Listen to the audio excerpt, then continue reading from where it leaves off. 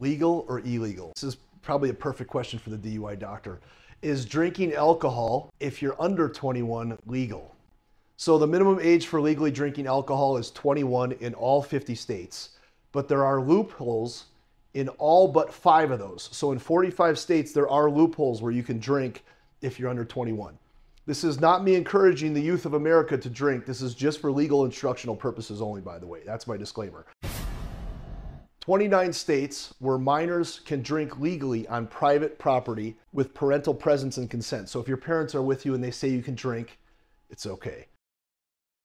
Six states where minors can drink on private property without parental presence and consent. What did he say? So, six states in the United States, if you're under 21, if you're on private property, you can drink even if you're under 21. That blows my mind. I don't know how that's legal. Uh, 25 states where minors can drink for religious reasons. You know, you drink wine at church, that's legal. Um, 16 states where minors can drink for medical reasons. So if you have, um, I can't even say it. 16 states where minors can drink for medical reasons. So if your doctor says, hey, you really need a six pack to get better, go for it. It's legal. I can't even believe that one's on there.